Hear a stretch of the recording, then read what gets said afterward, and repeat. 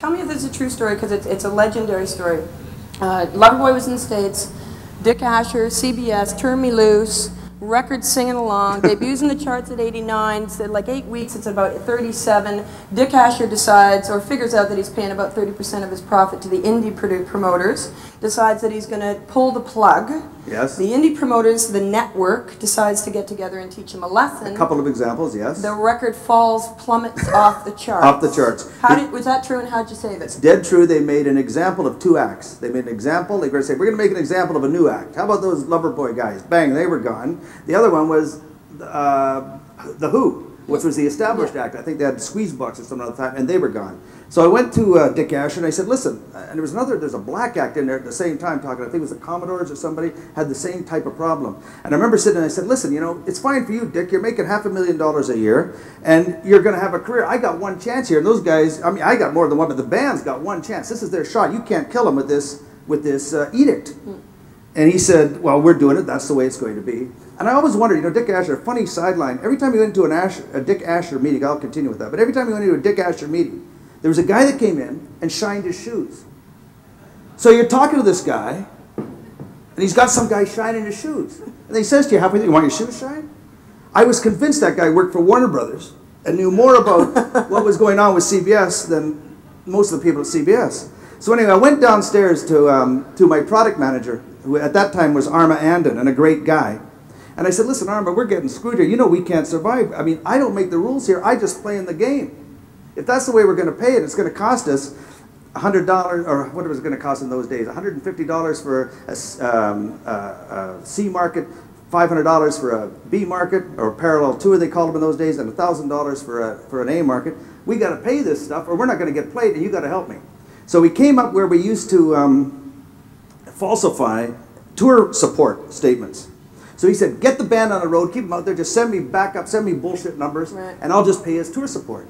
And I was, a guy used to control all that at times was a guy called Freddie DiSipio. And um, he used to, I, then I had to take all the orders. I had, to, I had to get all the charts and I had to get all, figure out all the money. And he used to phone me to give me the, the, the charts and how much it was going to pay me, how much I would have to pay him. So he'd phone up, and I'll, invariably, he's on the East Coast, I wasn't home yet. And my girlfriend at the time would pick up the uh, phone and she'd say, hello, and she, he- he'd say, uh, Bruce Allen's resident? Yeah, he says, who's this? He said, she'd this is Jane. She says, okay, Jane, listen to these stations. Uh, under 150, write these call letters. He'd name all these call letters down. Under 500, write all these call letters. He'd write them all down. Under 1,000 bucks, write all these call letters. Then I used to add them up when I got home and tell Arma, you know, make up some false tour support things, and he'd send DiSipio a check. Well, years later, a couple years later, 18 months later, we came to the Juno Awards here in New York, in uh, Toronto, and um, Jane was with me, and we walked into the room, and Bernie DiMatteo was the president at that time at, at CBS. So I walked up and said, Jane, I'd like to meet Bernie DiMatteo. Oh, Mr. DiSipio, you're the guy who calls in with all those numbers. We have to spend all the money to get our records played. He, no, no, no, I know nothing about that guy, you know, because he had to report to Dick Asher. But basically, they, they, they, they stayed out of the business for a while of doing that stuff, and, um, and uh, it's, it's gone away now, but it's resurfaced in a much uglier form than I ever thought that was. Because I did, I could relate to, you know, here's some dough, play the record, here's a refrigerator, here's a broad, whatever you had to do. I, that's fine with me, okay? And, um, and, but now, what they've done now is they say, okay, now we have BDS. That you used to report these records hot, medium, light. It was just bullshit. Didn't mean anything. It is here reported hot. Here's a broad. You know, and they, they do that. But now, now they do it by spin counts. They watch it on the radio. Everybody's monitored. They see how long they spin your record. So what they're doing to acts now, young acts, is the radio stations say, "Listen, you get the act into town for me to play a free show, and I'll spin your record more." So we got all these acts going in there playing radio shows for 10,000 people because they all get in free. Or if it's the call letters are 99.6, that's, that's the, uh, the, uh, the price for the ticket's 99 cents. So these acts are going in there, they're, the records are getting played, the acts are going in there playing free shows.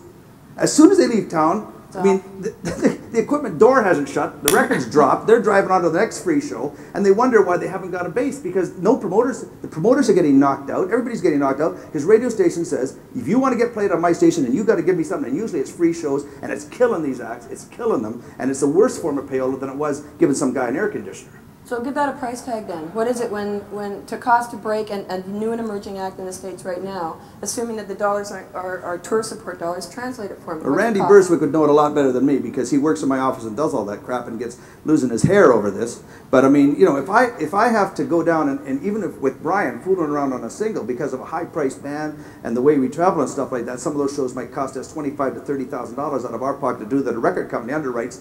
And, and, and it's, I'd rather them take that twenty-five or thirty thousand dollars and put it into marketing than I would playing free show for some radio station who can be a big shot in the market. Because I think I think that I think that it's just killing these acts and it's killing the concert business. And it, it, it's a it's a tragedy what they're making these acts do for airplay. Mm. And, and then we go out we got a Econoline that's why I got in the country mu- music business. I got a Econoline Crush on tour they, they now make maybe 750 1000 bucks playing clubs doing these radio shows here and there. I mean what, how much money do you lose in a week doing that? You got a bunch of guys sitting in the Econoline van ricocheting across the country playing to 200 300 400 people at a time. That's the country business is a lot different they support their acts a lot. Radio is very important, but the acts also support radio in much different ways. But they sit there and they, if you have an act that sells as many records as Econoline Crush does, and it's a country act, they're making five thousand dollars a night. Martina McBride, who hasn't sold a ton of records, probably made a million, four million, five on this record, will probably can do now forty to fifty thousand dollars a night in concerts. And, there's, and, and then I'm looking at I'm looking at uh, at these acts that are going into the clubs in Vancouver after selling a million records. How much money are they really making? And the country acts work a lot harder, but they also work with radio. They go in there, radio comes in, they talk to radio. Radio is very important to the country artists. And so far, so far, the country business hasn't made us jump through hoops and playing a lot of live free shows for them. Yeah, and yeah, the part of country's problem at the moment is that they, they've emulated the whole rock and roll situation to the point that it's become very fickle and doesn't have the longevity it used to. Well, the country business never looked after their older artists. The rock and roll artists did a lot. Rock and roll business did it a lot better than the country artists ever done it. Like where is Johnny Cash, Waylon Jennings, and all these people? They just disappeared. George Jones and so on and so forth. The country business has a problem because they got this weird guy at the top of the charts, Garth Brooks, who's actually sold, made, trying to sell 100 million records. I mean, nobody ever here in here has ever heard of a song, but he's going to sell 100 million records. He's going to be the, one of the first guys to do it. He's only been paid on 50 because he's chopped his royalties so much. He's putting out box sets for 14 bucks and playing concerts and sellouts and think, look at all the people I'm doing. I'm six nights in Minnesota. Well, of course, any asshole could be six nights in Minnesota if he charged 19 bucks for a ticket, Garth. But I mean, you know, he think he thinks it's great. But I mean, it's that's that's the problem of the country business because everybody else coming up is trying to emulate that. And when you got the leader of the industry saying, "I'm working for 20 bucks and selling my records for a dollar," it's it's pretty tough for the rest of us to make a living and justify charging 35 bucks or and charging retail prices for our music. It's mm. tough. Mm. But he's now a baseball player anyway. Well, let's talk about Martina for a second because you wanted to say you, want, you told me you wanted to tell stories today, and I remember Martina's record. And I can't remember the name of the record, but it was the one about spousal abuse. Independence Day. Independence Day. So the record O.J. come Simpson, out. if O.J. Simpson hadn't knocked off Nicole Brown, she'd have still been trying to get breakthrough on country radio. Well, that was the trick, wasn't it? It wasn't being accepted at country. It wasn't no. OJ thing happened. O.J. thing You happened, man. I rubbed my hands with glee. So I said, "Here's the song." Was an opportunistic uh, taking advantage of an evil lucky. situation. It was taking advantage of an evil situation, and, Yeah. and they used it as a, the country radio jumped on it immediately. And because that song was struggling, when Gretchen Peters wrote that song, she never thought anything, anybody would ever record it because it was too controversial. But it became an anthem, and uh, we've done very, very well with it. Well, same thing with Garth Brooks, Thunder Road, spousal abuse. Yeah, Became an anthem, and the thunder rolls. Come on, we can sing it. All I know is high, low friends and high, high friends and low play. I don't know what. The guy wishes he was Styx. You know, that's really what he wishes he was Styx. Yeah, or, or that's what his show's like. You know? Well, the country, uh, it's a big crossover right now at the moment. yeah. Next. Who? Hey, that's what he's going to do, crossover and be six. Going to be Styx. Yeah, know Shania is doing the Dixie Chicks. It's all. It's Dixie Chicks aren't crossing over. Dixie Chicks at least have some credibility. VH1 wanted to play their video because all you video channels, when you see somebody that's hot, no matter what format it's in, you'll sit there and try to get it on the radio somehow, on the TV somehow. So they went to the Dixie Chicks and said, "We'll put this on. I'll tell you what, but take out the fiddle." And they at least had the artistic integrity to say, "Stick it. I play the fiddle." So they ain't getting played on VH1, so they might not cross over. They haven't yet. Mm, we'll see. Their country, yeah, 10% of the market, shot at 50% of the market. I don't know, I'm thinking about crossing over. Anyway, let's, let, let me give you some quotes back at you. Donald K. Donald today referred to, to uh, that quote you said, better, business would be better without the artist. Now, I have no doubt you said that. Uh, but what was the context of It it? would be a great business without the artist, Yeah. yeah. What was the context? Remember? Yeah, because I think that um, I think that we have a tendency in, in the management end of the business to we, we're fixers, okay? We take a problem and we fix it, but we get bogged down in minutia.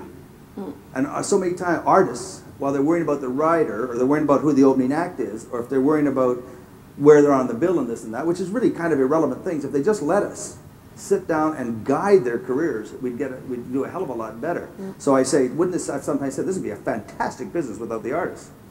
You know, and I know that's going to haunt me, and I think it's probably going to cost me about four. You know, I know what's going to happen tomorrow when I go to New York and talk to Bryan. He said, "Did you say this?" you know what I mean? you know, I have to defend myself against my own artists, which is better than defending myself against everybody else's artists. I remember in the early days, you, and talking about your early musical tastes, you, you were uh, allegedly hated the Beatles, Yeah. loved Elvis. Yes. And my sense is that your fascination was probably as big for Elvis as it was for Colonel Parker. No. I No? Colonel Parker was a was a perfect example of management that was terrible. I think he did a terrible job. I think he had a some uh, uh, he had a real bull by the horns, didn't know how to ride it, and just milked it to death and did a crummy job. If Colonel Parker knew he was doing, Elvis Presley would be here today. But Elvis was a guy who took his advice and followed his leadership, which Yes, is what he did. espousing for good management. Wrong guy. The guy was some Dutch guy who couldn't leave the country. He was a carny guy. He just picked the wrong guy. Ah. You know, and he should have listened to Eddy Arnold, who fired him years before. So what's Elvis a metaphor for? I mean, Elvis, you know, he a lot of reasons for a lot of people to like him and, and adore him.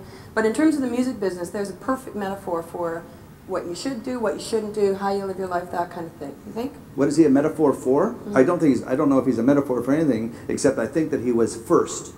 And I think that he was the one who captured America. I think he was the trailblazer for all of us. And he, he, when he started, he made rock and roll dangerous.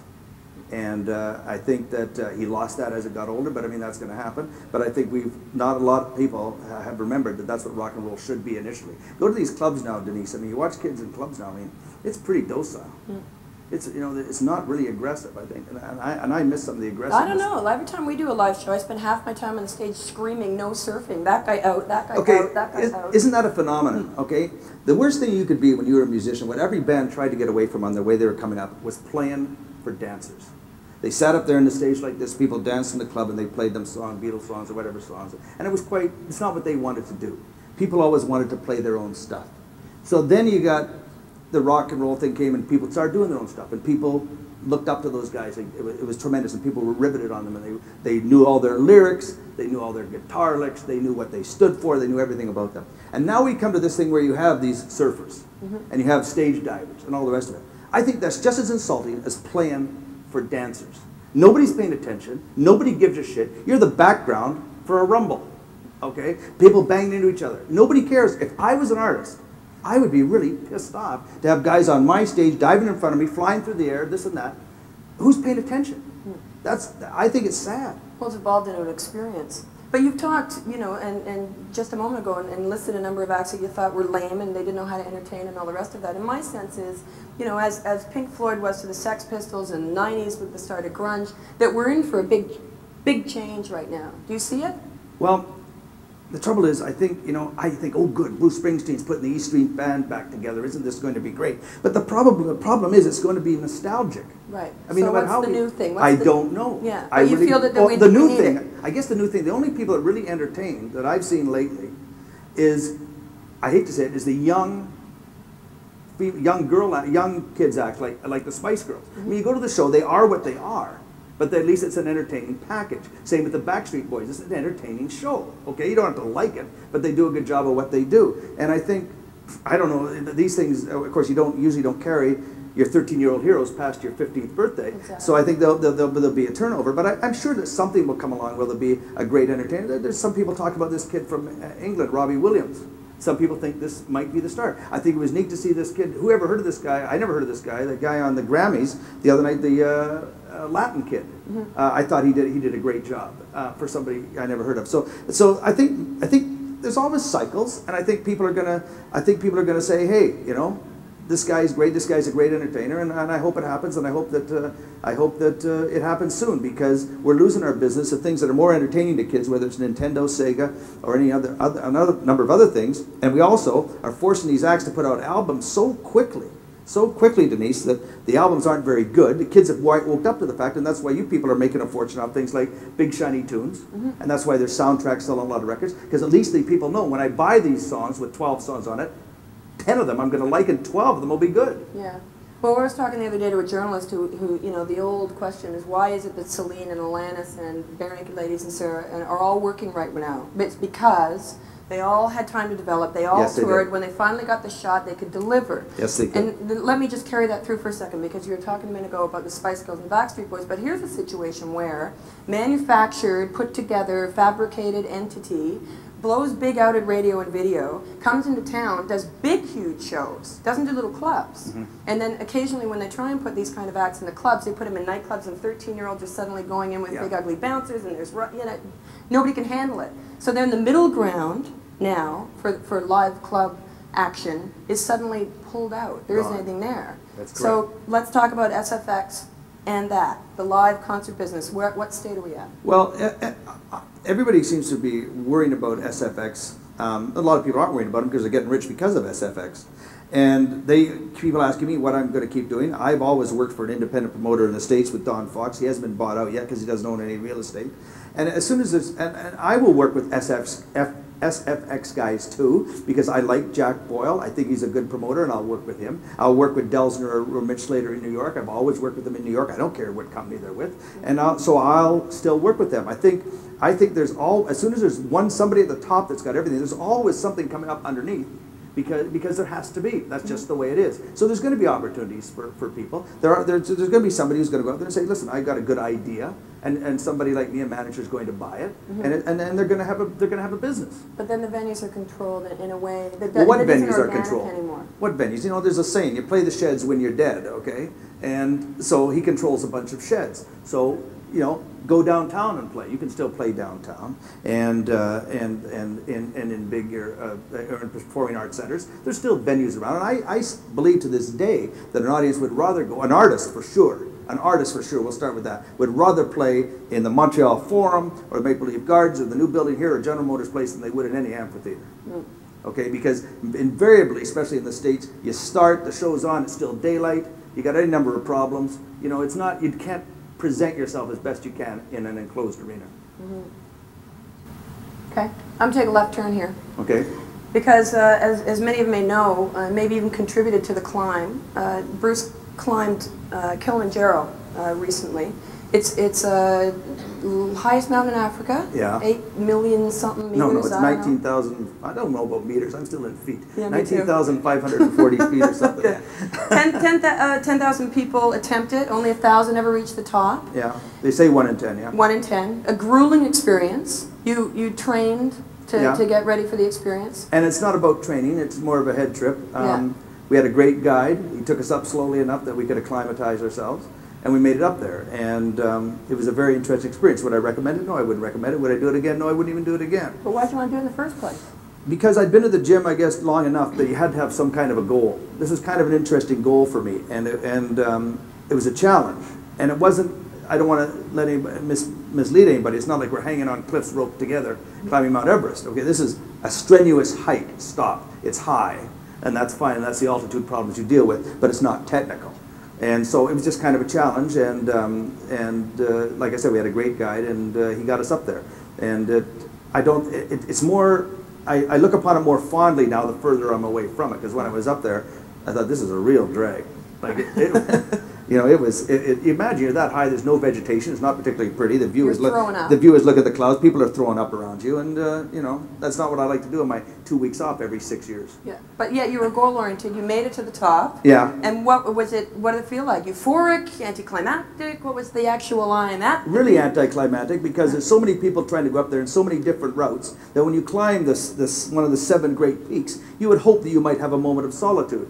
You don't, you know. there's McDonald's. In. No, there's, yeah, there, there, there's a bunch of Sherpas who pulled up the group from the west and a bunch from the east, and somebody, you know, I mean, there's a lot of people up there. Not a lot. There's like 20 people up there, plus your own people, and uh, and then you start watching your leader start to hallucinate. You think we got to get out of here Right. because we got to get down, and down's a bitch because the last day you, you, you climb 3,500 feet. You start at midnight. You climb about 3,500 feet. It takes you six, seven hours, and then you get it done, and then you got to go down from 19,540 feet to 10.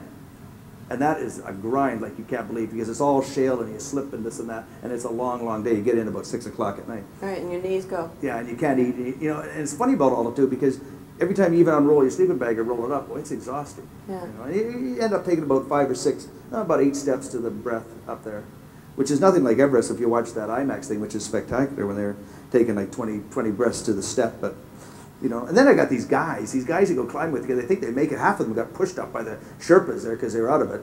And uh, then they say they phone up like uh, two weeks ago and said, you know, how about this mountain in Argentina? Like it's, you know, it's like 2,000 feet higher. I said, don't you get it? You don't even remember getting up there. They're dragging you by the back of your head. You know, but they, they, want to. It's all these accountants and bullshit people that you know want to do something risky for once. Right. But it, I mean, people that know you very well, and, and you know, words out in the street that you've mellowed. Yeah. That's partly a result of that. No, I don't think so. And you've mellowed so much, I've noticed in the last, yeah. no, I think it's aging, Denise. It's called, you know. And I think you get a bit more secure with what you do. Mm. And I and I think you know, we, we Randy and I talk in the office all the time. Is it like we know what we're doing, and we just gotta not put up with this bullshit anymore and just do it. And if people don't want us to do it, then see ya. We'll get somebody who wants to work with us. And that's I think we've only come to that realization probably in the last year and a half. Does it, does it bother you that, that, you know, you've been in the business a long time, and in the last little, little while, especially in Canada, you know, we're at Donald's uh, everlasting retirement today, and uh, Stan last night, and Joe last year, and the Universal Polygram merger, and all the rest of that that's going on. Like your network, the people that were controlling all these things, are now not controlling anymore. So you either have to build new bridges. Are you, are, are you doing that? Are you prepared? Can your team continue to break acts? I think so, but it's it's very troubling to me to watch guys that I've been in the business for a long time get dismissed or drop out of the business of, the, uh, uh, of their own accord, and it's it's been really troubling to me the Universal Polygram merger to me in many ways because I lost a guy like Al Cafaro, who I thought Sheryl Crow was one of the classiest things I've ever seen on the Grammys, where she thanked him for everything he's done. I was uh, very sad to see a gentleman like David Munns go, who's probably one of the finest international talents this this country or any country's ever produced. Um, I, I think it's wrong. I think it, I think the Universal Polygram was not a merger of talent. It was a complete takeover, and I don't think some of the right people got the jobs. I was very happy in the states when I we did get taken over, and I was thrilled that even before the ink was dry, well, he wasn't even supposed to talk to me. That Jimmy Iovine took the time to fly up to Vancouver, have a talk to me, and, and assure me that he would look after us. Um, and I've had meetings with Ted Fields, who I found delightful, and also uh, Tom Whalley, who instigated these meetings on their own behalf. And I thought that was wonderful. I am very, I'm very upset that, uh, not upset, but I find it, it concerns me that uh, Bryan Adams, one of the biggest acts this country has ever produced, I have not yet met one new individual from Universal outside of Alan Reed who moved over there from A&M. I got a call from Ross Reynolds saying everything was going to be okay. But if I was Randy Lennox or if I was some of those upper management people, I would have been on a plane. Now maybe they don't like to fly, but I fly all the time. I'm going to wait for a month on this trip. But I would have flown out to Vancouver or to New York and, or got me and Bryan together to talk to us. Because I think it's like baseball. If you're going to get traded, you want the general manager, the other team to phone you up and say, hey, welcome. That's all you want. Okay? You just want to be welcome. And I feel we haven't been made welcome yet, and I, I find it really distasteful. Well, they're, they're busy. What You're are they busy welcome. doing? What are they busy worry. doing? Because we're the guys who are going to supply them the product. Mm-hmm. You look after the talent. That's what you look after, not the receptionist. Okay, you look after me. I'm going to supply you. Your, I'm going to make money for you. Your business is selling records. Okay, I make those records. I make money in a lot more different ways than just selling records, but a record company makes them selling records. So welcome me aboard, take me out to dinner, pretend you love me. I'll buy it. Okay? You'll buy dinner. yeah. Well, what, what do you think about the bigger implications for the industry? We're talking, you know, five, and then people are saying it's going to be four, and then it's going to be three, and all of that. What do you think? It's tough because our job as a managers, we fight for priority all the time. There's, it used to be maybe you're fighting with 30 guys. Now with these mergers, you're fighting with 100 acts hmm. to get to get notice and to get to get help and to and to to get somebody to listen to you. I think it's going to be tough, but I also think it's going to be, give rise to some great independence.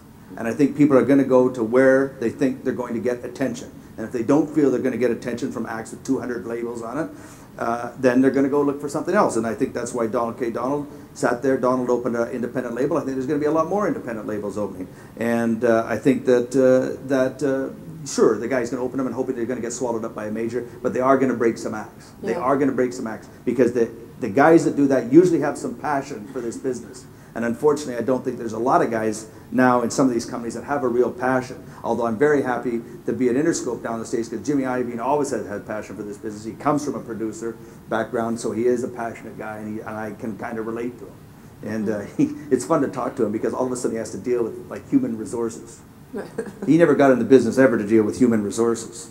And these people were coming in and say, okay, you know, some guy in a German accent saying, you know, you've got to have so many women, you've got to have so many blacks, you've got to have so many people who are over 40, so many people. He, just, he just sent him down to Ted Fields, who, of course, one time bought the Chicago Tribune and fired everybody, and he could deal with human resources. But Jimmy said, I never thought, I, I just want to make records, I just want to make music. I got this guy looking like Darth Vader telling me, it's, you know, I got to hire and fire so many people. It's, it's tough for those guys, too. It's Yeah. tough because there's some real passionate people in this business that don't want to get caught up in this corporate crap, you know, and that's what it is. Well, you talk about the independents coming and the resurgence of the power of the independents, and a lot of the independents these days, you know, they're very hungry, aggressive young people who are Yep. very technologically advanced. They they love the internet. They you don't own a computer, right? No, I don't. Okay. Me and Silverman are the same. He doesn't have one either. Okay. Well, one of the things I wanted to ask you about, and I'm going to show you this thing, and I'm sure you've seen it. Don't be afraid. Okay. it's a Rio. Ooh. Yeah, $200 piece of gear, yeah. Right? You can download digital quality audio. Yes, and when you play it, and if you play, if you recorded something off that, Denise, off your computer, and then recorded a CD, Mhm. you couldn't tell the difference. Bang on. So, what does this mean for the future? This little thing right here.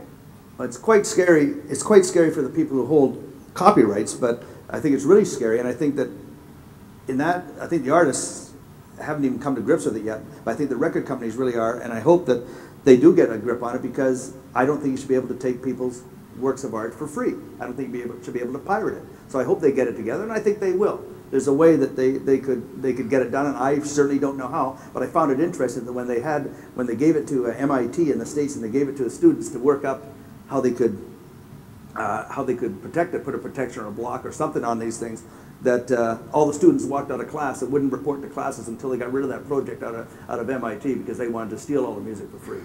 So it's kind of interesting. So it's, it's going to be an interesting battle, but it, we- we'll solve it. We'll solve it. You know, this internet thing too, we talking all the time about people buying records off the internet. Well, I'm on the, on the country music uh, board down there, uh, CMA board, and we have people come and talk to us all the time, and I, I, I kind of fascinated with, you know, Borders uh, or uh, Amazon.com and, and stuff like that. And so they said, if you took Boulevard.com and Amazon.com and all the rest of these .com people that are selling records, the total volume for a year that these people do is exactly the same as one tower store for a year between all that. So it's really not that big Yeah. yet. And I don't know if it's going to be big because I still think it's an experience to go down to the record store and go through the stuff. Okay, I think I, I don't think it's just going to take over our business totally. I think we're still going to people still want to touch and feel product. I hope. Yeah, well, except there's no live acts for them to see anymore. That's right. The old people are going to see the live acts. It the old people matter. are because the tickets are three hundred bucks. Um, it- it- let, let's bounce around for a, a number of subjects here. She said, diving through her notes. Um, you know, everybody knows all about your, your huge successes. I mean, you've got uh, currently, right, on your roster, Adams, 20 odd years, Martina, Anne Murray, Leroy Parnell, Kim Stockwood, Econoline Crush, Bret Hart. In the past, has been BTO, Loverboy, Cochrane, Prism, Susan Jacks, Red Rider, Liona Boyd, The Payolas, Tad Campbell, Raymond May, Hammersmith? Boy, there's a lot of stiffs. I forgot all those. Yeah, sorry. and what, what do you think?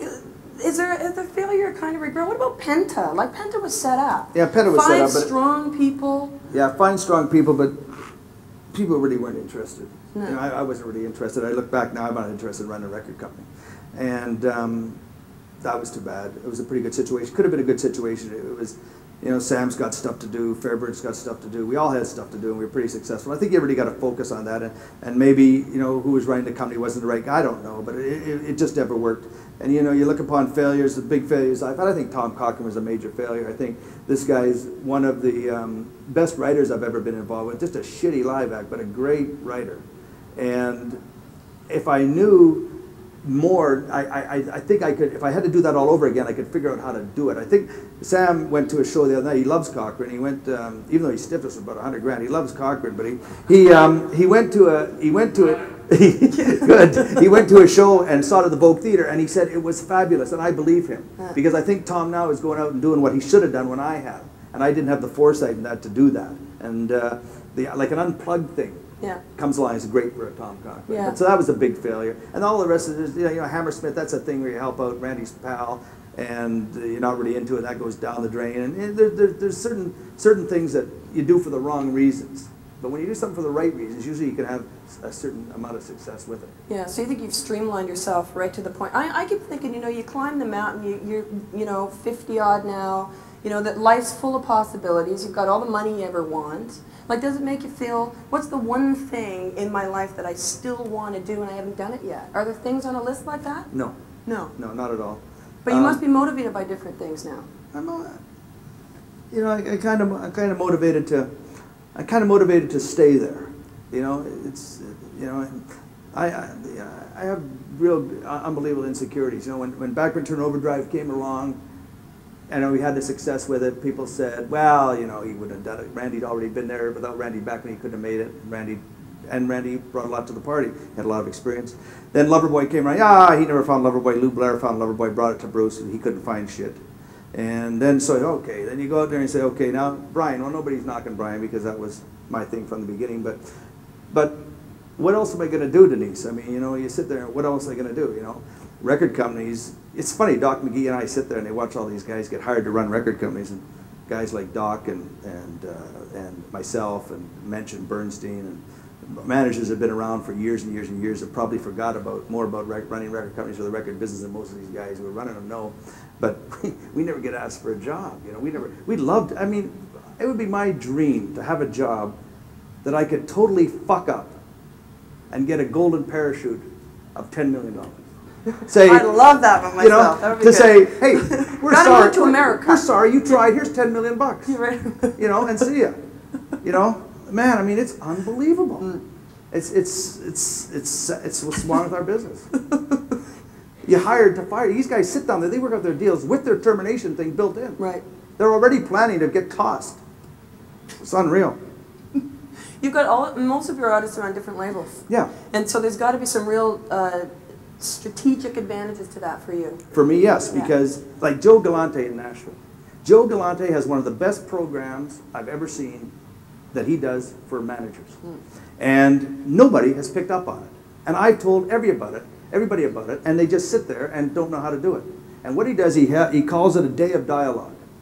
And he says, I have every manager, we go down about twice a year, maybe three times a year. He gets all the managers in and he invites in the head of distribution and the head of like Russ Solomon or all these or, or, or all the people that are involved in the distribution of records. And all the managers sit there and the artists if they want, and they get to sit there in a little room, you know, little, there's not many people, maybe 20, and they get to ask questions. And they get to hear his problems. And, our, and, and then we get to tell them our problems. And you get to learn about the business from these people. And next, next time it might be about radio. So some of the big radio programmers come down. Or some, and, and some of the uh, and some of the chain guys come down, uh, and they, and then we talk about the problems because it's easy if you're an artist to sit there and curse the world and everybody's everybody's screwing you over. But until you get in a dialogue with these people and see where they're coming from, before, before if you don't get a chance to understand where the, how these people think, you're never going to be able to, to, to deal with them. And I, th- I tell Joe, I tell Joe, I said, Joe, and I, I mean, I know this shit. I've been doing it a long time, but I go anyway. And I, because it's fascinating to me to, to, to listen to these people. And I think these record companies in this country and down in the States should have these days of dialogues for the managers to sit there so they can actually not, not sit in the back of the tour bus bitching about life. Talk to the guy who's fucking up your life and ask him what he's doing to fix it and why it is that way. I think everybody could benefit from it. There's a lot of acts that have, uh, you know, the Canadians are constantly, especially lately, talking about all the great acts that are doing well internationally, and yet there's still a lot of great acts in Canada that haven't crossed out, haven't made a success in America. Why don't you name them? Why don't I name them? Yeah. There's a lot of people I would love to see do Who's that? wonderful. I think the Tragically Hip would do them. Tragically Hip has had their chances. They've had their chances with four labels. Get over it. It isn't going to happen. But They're this year's trooper. not true. What do you mean not true? Not They've true. been with Universal. They've been with Atlantic. They've been with Sire, aren't they? How many chances do you want? so what? Tell me what the problem There's is. There's something for- wrong, isn't there, Denise? Yeah. There's something wrong, and you haven't figured it out. Because I go Maybe to it's see the the fat, ugly guy live. singing. Wrong. No, see, Earlier, you were talking about not want, you're going to see live acts, and there, there's no, it's not Resident. It's live acts, Denise. They're doing it. live. Come on, stop that crap. It's I have So- I've had them too. I've had Prism. We could sell out. We sold out coliseums coast to coast. They weren't good enough. Trooper. They sold out coliseums coast to coast. They weren't good enough. And Tragic Hips doing it now. Well, they're good enough So get me. over it. Good enough for me. They better be good enough. For you. You're playing the shit out of them, keeping the myth alive. Yeah. and proud of that I am too. Thank you very much. anyway. Okay, we're getting really close to being out of time because I don't want to fight with them anymore. No, I do. Um, but so, what a couple of things I wanted to do with you is go through, um, like Billboard Top 10 this week, right? Tell Oh, me what you think. Number one, TLC. No box set there. Okay. Number two, Eminem. I like it. Yeah? Yeah, I, I, Jimmy played it for me. It's on Interscope, right? Uh, Have you already got into the record? No, I haven't. We just got one video. Uh, wait to get into the record. Listen to the lyrics. It's great. This kid's a, a white rapper who's involved with um, Dr. Dre, and it's pretty cool. It's pretty cool, but it's really violent and really coarse. And a lot, lot of the stuff I don't know if you'll be able to play it, but it's it's pretty neat to listen to. It's but it's more like a comedy act when you listen to it. Go ahead. Lauryn Hill. Lauryn Hill. Lauryn Hill once said in an interview that she would rather have her kids starve than sell records to white people. I heard there was a vicious rumor that she that she says didn't happen. She didn't. I bet she it. says it didn't happen. Oh, no doubt. So I don't know what to think of Lauryn Hill. I don't like the record. Next. Uh, Dixie Chicks. Pretty neat. Um, a lot of, lot of, lot of spot, great girls, um, great image, good players, good singers. Going to be around a while. Shania. You almost managed her for a minute. Yeah. And Interesting. You did Um, no, no. Interesting. It, it didn't because of a couple of reasons, but but Mutt Lange is probably the most gifted producer maybe the world has ever known. He's had hit metal acts with Def Leppard or ACDC. He's had hit pop acts with Bryan. He's had hit black acts or uh, R&B acts with Billy Ocean. He's had and now a country act that might be the biggest country act of all time by the time she finishes selling records. You have to ask your question. Ask, ask the question: Where would Shania be without Mutt? I don't think it's a bad question to ask. You could also say the same about Bryan. We were coming off a bad record, and Mutt Lange did a great job with us getting us refocused and helped Bryan in the writing of songs. And I think he's done the same thing with Shania. What's great about Shania is that she goes out there and she is committed to her craft. She works her ass off. She's focused, and when she comes and does her show, everybody who goes to that show loves it. It's a great show, and I applaud her because she's done a, a wonderful job. And her so, and I, but I also don't want to, don't want to, don't want to, uh, to to to um, not focus on the on the uh, on the contribution of Mutt Lange, who is a, a genius of a, of a producer. The next one is a Grammy compilation, so we'll skip Yeah, well, that. you know what that is. Cher. Oh. you ever seen Cher close lately?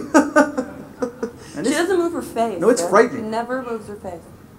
um, great song. Proves. Bryan always says to me, "We're always one song away. You're always one song away," and he's right. Here comes this broad, all of a sudden, out of nowhere. She's got a great song, and it is a great song. And I don't know whether she'll have a second great song, but hey, that's a great song. Britney Spears. That's your Mouseketeer. Um, and we won't hear of her maybe in another 20 months. Okay. Um, one of the things I wanted to talk to you, uh, well, last question before we get to our word association test. Oh, Which good. is the end. I thought that was that. No, no, no, that was just messing around. Um, is uh, Canadian radio, state of Canadian radio. I have a problem, but it's not. It's not. It's a big problem in a way. Is that I've always been involved with artists that when I started, you made a record and you put out that record, and if it was a record that went on that format, then that format played it. I find it tough now in this country that we have to supply them with remixes. If I was an artist and I spent months and months and months creating my art, and then I went into the marketing department or the promotion department, and they said, we've taken your work and sent it over to this guy, who's taken it down to his basement and fed it through a bunch of computers, and we're gonna come up with another mix, because we need more radio to get the single up the charts. If I was an artist, I'd be really pissed. Like, who would have ever made that call to Bob Dylan to take his songs and turn them into dance mixes or something like that? But that's what we're in now, is that they take your art, they say, we don't like it. Why don't you do it like this? That sucks. Hmm. Bryan got remixed once. Yes. We little play, high, that vocal, as I recall. yeah, that was early in the day. He- That was early, but we've also we also play the remix game now a bit, and it's difficult. It's hard to sell to an artist. It's hmm. tough, but that's the game we're in again. It's like payola. We're, we're in that game, so we did it. Now we're in this remix game. So how about the consumer who goes and buys a Jewel record that you heard on the radio, and it's got nothing to do with what you bought on the CD? Pretty tough. I think the computers, the, the consumer's getting shafted too. Okay, we're wrapping up. We have no time left. Bruce and I talked uh, last week, and he said that he'd been to a couple of these sessions like this, and uh, they ended with a word association. So I've got about 20 words. Well, I knew you hadn't done this for a few years, Denise, so I'm trying to give you a tip. Thanks. Hey, I'm listening. And I'll go to the dialogue thing. I'm always in for some new information. Okay, I'm going to say one word. You're going to give me one word back. Is that it? I'll try. Or give me whatever. Yeah, yeah. Okay, ego, Got to have it to be a success. money, Define success. Canadian, Pretty good thing to be, although the government doing everything they can to drive us out of here. why? Well, look how much money they're taking from us. Who would put up with this crap? Why do you think all the artists have left? And the hockey players. Media, Media? You can use them. as I believe I have been this afternoon. uh, fame, Fame? To some, to some people, it's not really important, but they just say that because they're afraid to attain it.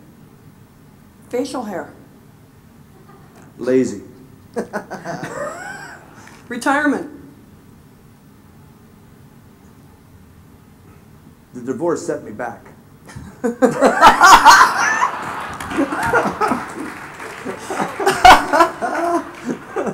slander, Expensive. CRTC, Outdated. Not Sex. Sex? Viagra, it's getting a hell of a lot better. Oh, damn, Viagra was one of my words.